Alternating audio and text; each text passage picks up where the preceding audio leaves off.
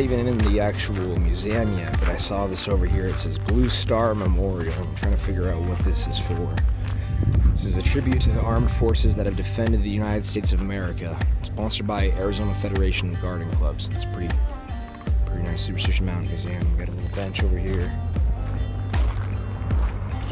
Looks like a bridge. It looks like it takes you over here to another spot. Let's go take a look and see what's over here. We got a nice little.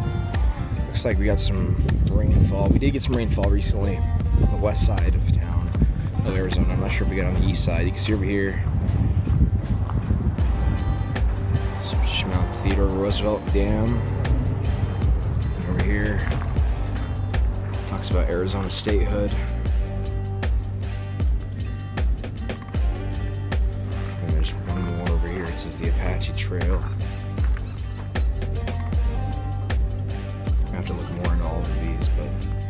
General, here we are, Superstition Mountain Museum.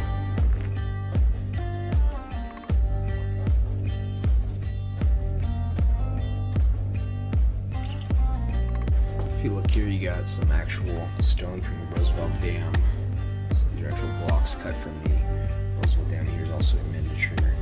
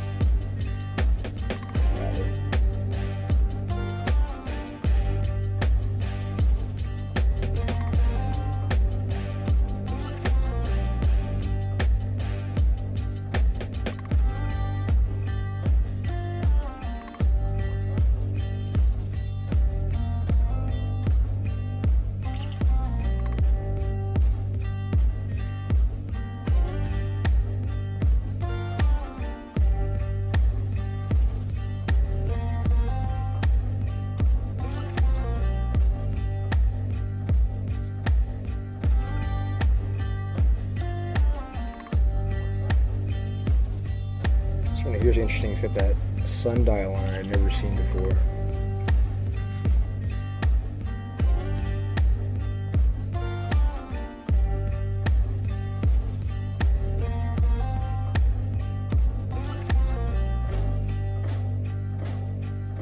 I've also never seen one like this with the this type of bird. In the back, you can see some.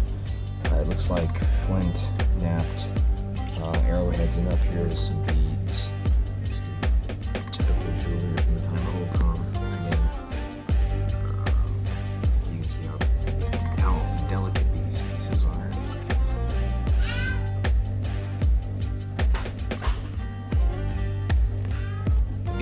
Look Holcomb lava rock grindstone, I've never seen anything like that one. Here's male and female figurines.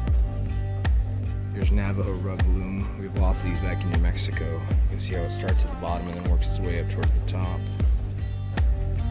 If you look here, these are going to be Anasazi petroglyphs. These are going to be found by, uh, this is Les Harris Sr. You can see up here 80, 550 to 750. You can see the uh, same lizard marking we see in a lot of places like the white tanks. And this one may look like a snake. It's kind of hard to tell.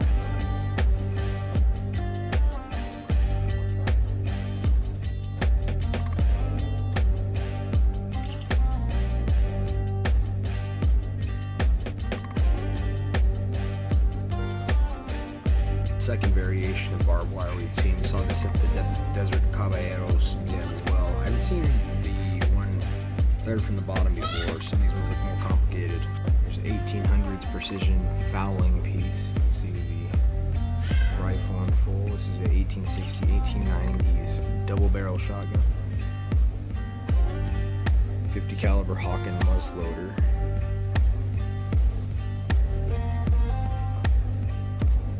And a 54 caliber percussion sharps rifle. If you look in here, some conquistador gear. It's actually full chest plate. You can see the sword, and also the same helmet they were wearing. Pretty amazing. Here's a nice tribute to the Buffalo Soldiers of Arizona who fought in the Civil War. Uh, you see right there, 10A. There's the actual outfit. That's an actually authentic, if you look closely, it's an authentic belt buckle, or at least a remake. Other than that, you can see some other uh, information on African Americans who fought in the war. It's very important.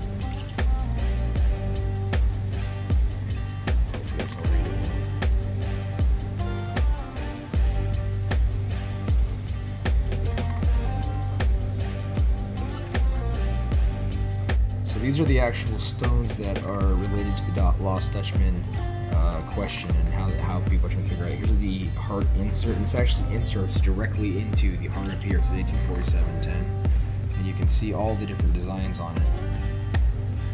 But you can see right here, this is the uh, things people, people think that this may be a mystery of how to get to the Lost Dutchman's uh, treasure. You can see right here's the heart, and the heart fits directly into this stone right here. It's very beautiful.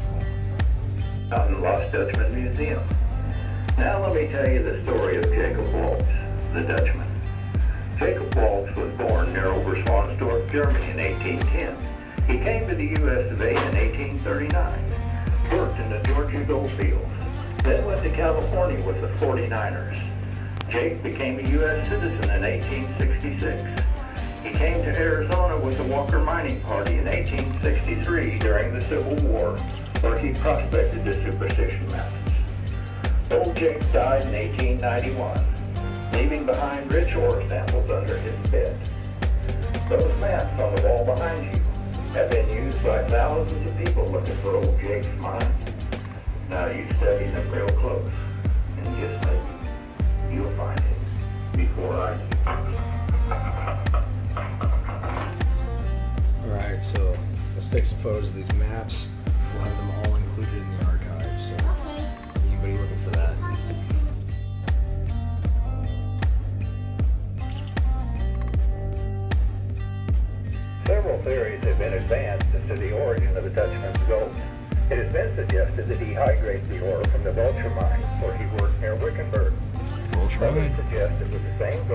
In a rotted pack saddle near the massacre grounds the Superstitions in 1963. Most speculate that he simply found one of the many mines in the Goldfield mining district before anyone else did. To put these theories to rest, using the ore found from under the Dutchman's bed after he died, and specimens collected from all the suggested mines, a non-destructive test was conducted at a major university. The test reports re- proved that to this date, the Dutchman's gold is from a totally unknown source. By the way, this beautiful cabinet was handcrafted in Chicago in 1894 and shipped to the very first Goldwater store in Prescott, Arizona. Wow, this was actually shipped to the very first Goldwater store in Prescott. So there we go again. Once again, connecting us back to Barry Goldwater. You can see how much the Lost Dutchman has become part of the local myth here. Uh, people have actually died looking for this uh, Lost Dutchman uh, mine and trying to find the gold. As on the video said, they still don't know where the actual gold that Dutch had. Uh, again, we'll visit his uh, grave and um, our respects to him like we did Barry, Barry Goldwater. So this is the Lost Dutchman. 100 years of tourism and commerce along the Apache Trail. So these are actually going to be the Lost Dutchman Jacob Waltz's actual mining tools found in his mining cache, and he, he actually had these and used these. So clearly he was a miner, whether the gold came from the mine or not. We guess we may or may not ever know.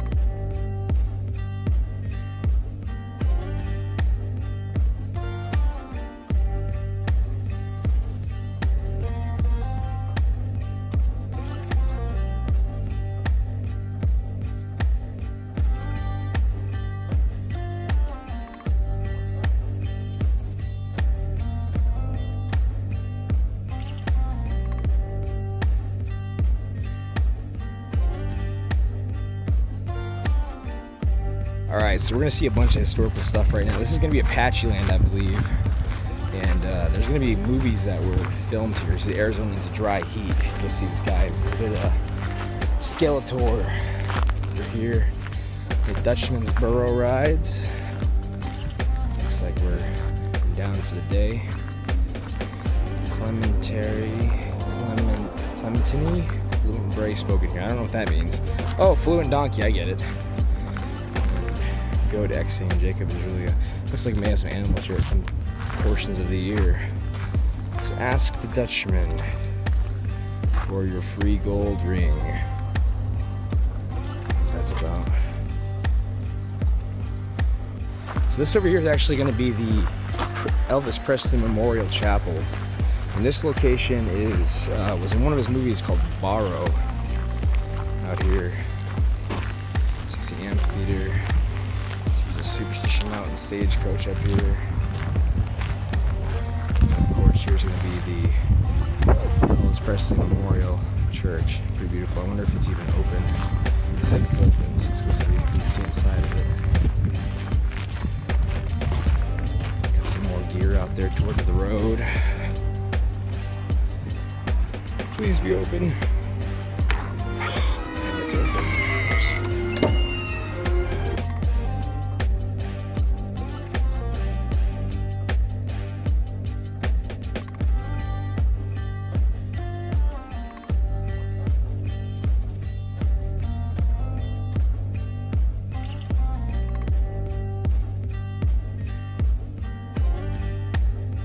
So we are standing in the Elvis Presley Memorial Chapel, and this is where uh, Barrow was filmed. You can see some of the uh, the films he was in on the walls here, and of course you can see the uh, Elvis Elvis himself behind me. Of course, this is a pretty small chapel, really beautiful. This is one of the first locations I've tried to get inside, and I actually got inside.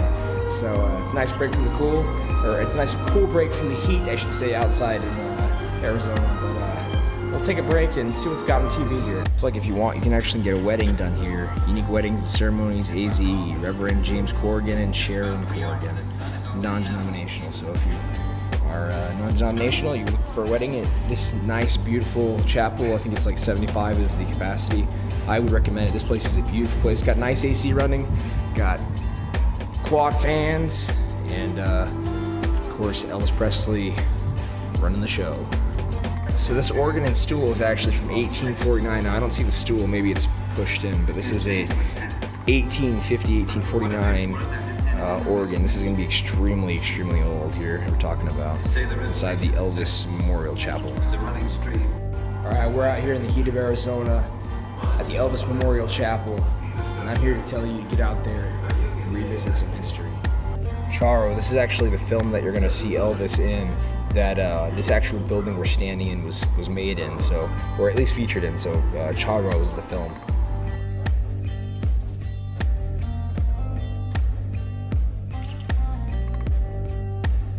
All right, so now that we got the inside, let's go ahead and do a lap around the outside, see what this place looks like for real.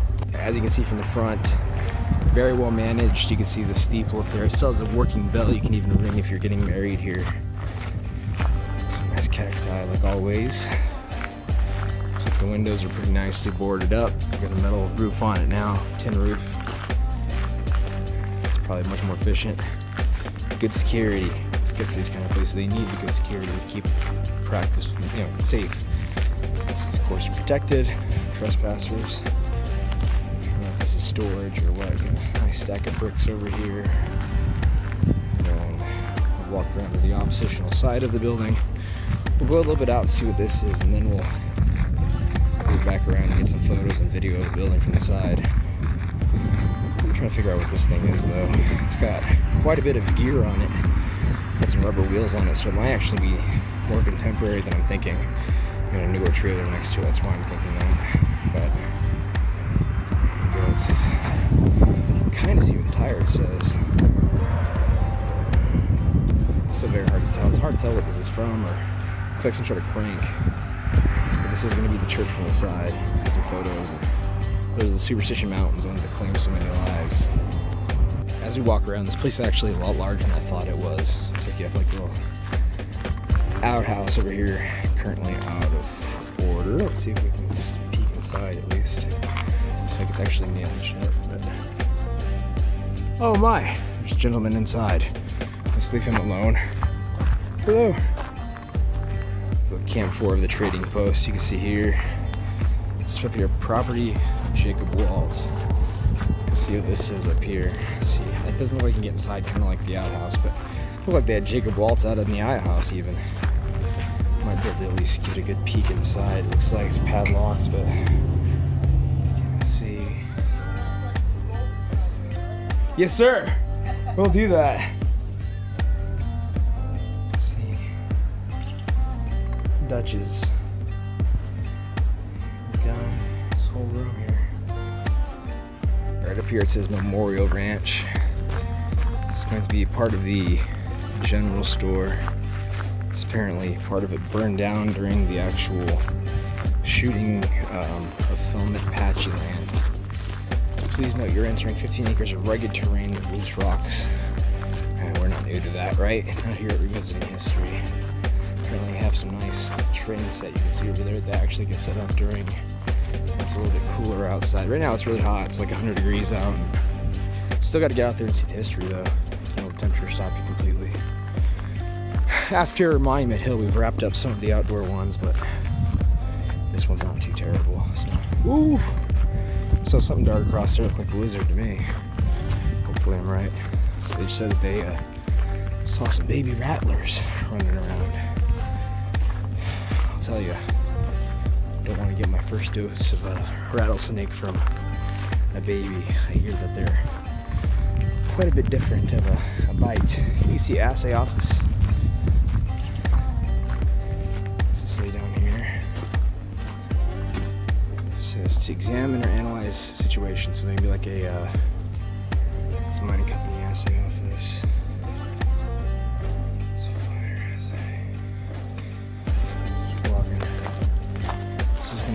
SMM mill office. You can go inside, can you? No, it's locked up. You can see they got some stuff inside as well. Primary sources. Ooh, a bird flew right over my head. Some more really, really old mining gear and equipment. Look at that sucker. Got nails hanging out of it. This looks like some heavy duty mining equipment. Down here you can see some donated bricks. 28 days, the five 1,000 mile round trips were required to disassemble and move this 20 stamp mill from the ghost town of Bland, New Mexico to Apache Junction. That's where we're at right now. Mill operation schedule. This is a stamp mill? Not quite sure what we're stamping out here. We busted our butts, it says, to make this exhibit possible. It looks like it. Look at this thing. Bull wheel. There it says tappets, cams, shaft, feeder collar, stamp assembly, boss. I don't even know how this works. You can kind of see how separate mechanisms look like they shift up and down maybe. So the Cossack 20 stamp mill was constructed in Bland, New Mexico around 1914. So the crusher, jaw crusher was used to reduce large pieces of ore down to a size that the mill could process. The skip car, ore falls into the skip car feeder, catches the dumped materials, mortar box holds the ore, the stamp assembly, uh, puts the components, crushing the ore into a mortar box, and the cyanide tank uh, leaches the precious metals into crushed ore. So we have a full process going on here, stamp assembly. It's pretty interesting. Comprehensive from what I can see. Oh, okay, now I see. This is what's going on. So it'd be smashed here, brought up the ramp, and then brought down into the interior of the crusher. Pe- gentle giant piece of. See various materials. Still gotta keep an eye out for these rattlers because they are around. I don't know where we're heading to now. Looks like we're at the back of this building. Looks like we take this elevation. Alright, let's put this away for a second. I'm on a kind of back path trail and I wanted to show this because this is the Superstition Mountains, man. They draw you in, boy, do those steep cliffs look dangerous. So we got a nice little trail that takes us up through here, wraps around by not like close to Superstition, but it wraps around the backside of the territory. You can see over here. That's gonna be I think you turn this and make the wheel go around for some sort of processing of materials. This is a Arastra. Arastra. A mill comprising of a circular rock-lined pit in which ore is broken or pulverized by stones. So this would be a way of breaking ore up by an animal dragging the wheel, which then of course turns this, crushing the stones underneath. That's pretty interesting. You See the evolution of how this technology's worked. This looks like a giant um, uh, where you would put the ore, ore to boil it down into pieces. I really hope this isn't like a uh, thing to go down the mine, like an elevator thing. Because I would not want to be on that. And then, like last but not least, we have the actual train carts, which they load the ore into, and those would take it all the way down to the chopper down there that we saw. See, it's a very simple um, hinge system that works this thing. And of course, the tracks aren't particularly large. You foot. It's about the size of the tracks combined. Down here, looks like this is where you put the lower it down into what the mine would look like, but this is a one-man mine cage. So yeah, that looks like it might have been an actual elevator, but they would lower you down in one of these suckers. One man mine cage. Doesn't seem particularly fun or exciting or safe, but sometimes you gotta break some eggs to make an omelet. Eight of an inch mine. So we got snake alerts all over this place. This is Boot Hill apparently. This looks like a cemetery. I'm Not sure exactly what we're seeing here. Him stiff at last. Her colds as usual. Nice. It's they got jokes. Got some comedians. Here lies Sheriff Jack. At first, a fast draw he did not lack. Got two bullets in the back. Here lies Big Nose Kate. Shot a fella at her front gate. Didn't pay the going in rate. Now we actually sat at the same table as Big Nose Kate at the Palace in Prescott. Lies bartender Bill. Sold rock cut from whiskey from homemade still. Shot fellow who didn't pay his bill. I think I don't think these are actual burial sites, but I could be wrong. Lies Cowboy Bob. Got drunk, lost his job, went to steal. He was hung by a mob. Seems to be a common occurrence of these times. Lester Moore, four slugs from 44, no less, no more. Oof. And here lies Gambler Wade, drew a flush all of spades, lost the deuces and a razor blade. Get some bone scabs right here. I think it's supposed to make it look a little bit more uh, creepy. But you got the boots, real boots, lining throughout this place. Boot. It say? 99. Boot Hill.